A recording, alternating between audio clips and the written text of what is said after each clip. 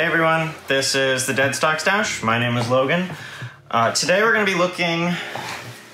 Today we're going to be looking at uh, kind of a different shoe than I normally do.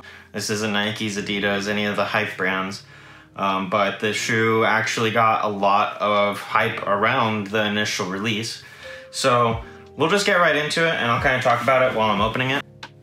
So this is On Running collaboration with Roger Federer, the, you know, one of the greatest tennis players of all time. Um, the initial release was a thousand pairs, numbered, and those were released at Dover Street Market, and those sold out. Well, actually, they were they were a raffle. I, I didn't even pay attention to the shoe. I saw that that that numbered release was doing like big numbers. So then I was like, all right, I'll check them out and I was actually surprised at how good of a shoe it really looked like.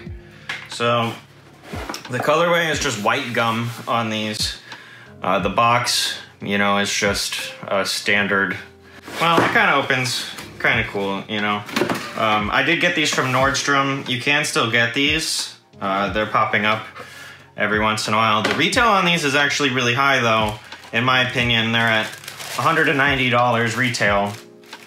And they came out on August 27th, so this is a fairly new new release, depending on when I can actually edit and post this video. I know what these look like, obviously I bought them, but I'm actually pretty surprised at how nice they are in person. Um, like I said, this isn't a normal shoe that I would do a review or even purchase, but Roger Federer is arguably, like I said, one of the best tennis players in the world, and this shoe really garnered a lot of attention um, because this On Running company is a Swiss running shoe company, and this is not a running shoe. Technically, according to them, this is the second lifestyle shoe that they've made. The other one was called like Cloudnova or something. I'll show a picture of it, I'm sure. That to me is still a running shoe. This to me is a lifestyle shoe, um, which was the intention behind it. Um, I read an interview with Roger, and he said that he wanted it not to be a running shoe, but to be a lifestyle shoe. And he even used the word street. So, arguably, these are a streetwear shoe. Uh, the design on these is really nice. They remind me a lot of the Adidas Supercourt, which I'm not sure if you're familiar with. It wasn't a super popular shoe. I'll definitely show a picture of those also. I really like that Adidas shoe. This reminds me a lot of it. Um, these are extremely light, so maybe I can do like a scale on these so that you guys can see how light they really are. Um, so the side here, it says the Roger on it. CloudTec is On's like signature um, technology that they use on all of their shoes. But this is a little bit different because you can't tell that this has the CloudTec in it.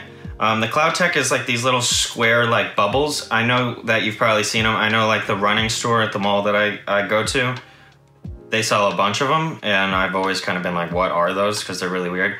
But Roger didn't want that in this shoe he wanted it to be kind of low key. So if you look at the bottom, which hopefully you guys can see this, if not, I'll have B-roll of it, I'm sure. But those CloudTec technology is actually inside, it's just hidden by a solid midsole. Um, but you can see it down here. Maybe there's little pockets in here and they're just not open. This is almost like a material on the bottom, which is kind of strange to me. It's not it's not a rubber. It has like a thin layer of like cotton or something on it. The gum sole is nice. Has the little cloud for the CloudTec technology. And then it says Speedboard on the bottom. Like I said, I'm not familiar with On, so if I'm if I'm completely butchering this, I'm sorry. This is the first time I've ever purchased a shoe from them. But I think they did a really good job with it, to be honest. Um, so Speedboard is something that they have. I didn't I didn't research on that, so forgive me if that's something that I should know. Another important part of the shoe, in my opinion, is that it's vegan leather. So that that's pretty, you know, progressive in my opinion. Most companies, most luxury companies, the customer as well as the manufacturer, the company, kind of want it to be premium materials, and unfortunately, leather is still, you know, the top tier premium material in the eyes of most people. So the left shoe says the Roger, has the on logo, CloudTec, just white laces, no extra laces with these. And then the right shoe has this little Swiss flag here, so that's cool, and it says Swiss Engineering on this one. So it is a little bit interesting that they're they're slightly different from the left side to the right side, but not not much. I'm excited to actually try these on. I didn't think I would like them as much as I as much as I do, to be completely honest. This was kind of like a what's all the hype about? Because the numbered pairs are doing like numbers, like they're selling for in the thousands. So I was like, all right, so yeah, it's numbered, which is probably what's driving the price, but maybe it is actually a good shoe. People are excited about it. Um, you know, and they, they did a really good job marketing it also. Like the, the main advertisement that I've seen is like Roger Federer, like sitting in a chair and like strumming like a, a tennis racket, which is like, it doesn't make sense, but it works. And, and then like, he has like these dark orange socks on with these white shoes. And it just, it made him pop. It's a good advertisement. I think they're doing really good with it. Um, and people are excited about it. And that's really, you know, what it is, what, what the goal is with sneakers and with marketing. So I am interested to see how they actually feel on foot. I'll definitely be doing it on foot. So stick around for that. I do see like a little glue stain right here. I'm, I'm pretty picky on, on quality, um, especially because this is a $190 sneaker. This isn't a $50 sneaker that you pick up, you know, and, and you don't care about it. Like this is, this is a cognitive purchase. This isn't just a purchase on the whim. Even though I purchased on a, on a whim, I'm a little bit different because I'm a sneaker collector. But for somebody who is actually like into the company on and they're looking at this compared to maybe like an actual running shoe, then this may not justify the price point that they have these at. Although, as I said, these are being marketed as a streetwear uh, lifestyle shoe and not the typical running shoe that, that On would normally put out. So let me know what you guys think. Uh, I'm, I'm mostly interested to know what you guys think about a company that is a running company, much like Nike and Adidas, to be completely honest, and all of the other big names, really trying to get into the streetwear lifestyle um, market. You know, it's everybody wants to be in that. It's what's popular. It's what the the kids are wearing, um, and this is kind of an interesting uh, adaptation of the two because it has the technology, but it's styled as a lifestyle sneaker. Um, I missed this. The right shoe actually has an R for Roger, I'm assuming, and then the on logo for the left shoe on the back heel tab. Um, so the right shoe differs pretty considerably in, in terms of small details from the left shoe. So I like that. I'm a details person, so I like noticing those, those little things. Uh, so let me know what you think in the comments below. I haven't really seen any unboxing of these, so maybe they aren't as hype as hype is kind of you know arbitrary, but uh, maybe they're not as popular as I thought they were. But people definitely care about this release, and you know I'm I'm impressed. I'm excited to get them on foot.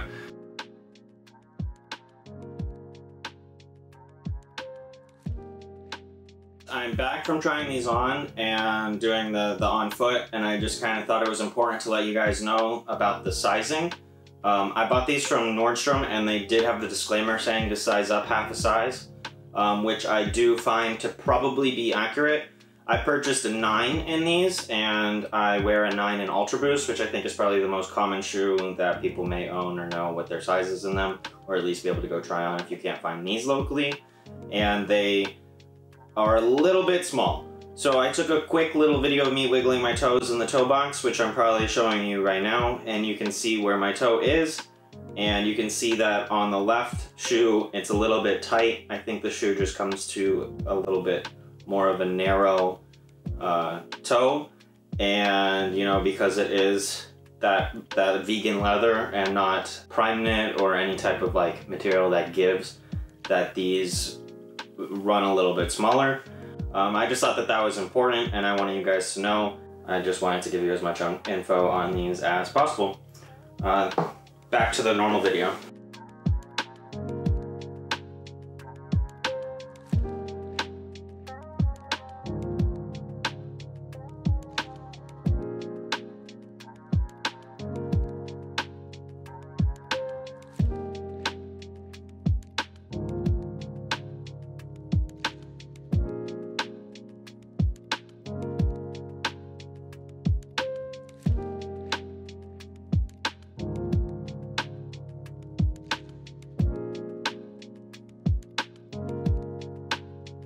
Uh, so let me know what you think. Uh, if you like the video, please do like and subscribe. And if you're on Instagram, please follow me at the Deadstock Stash. Thank you so much for watching. Good luck on your next cop. Take care.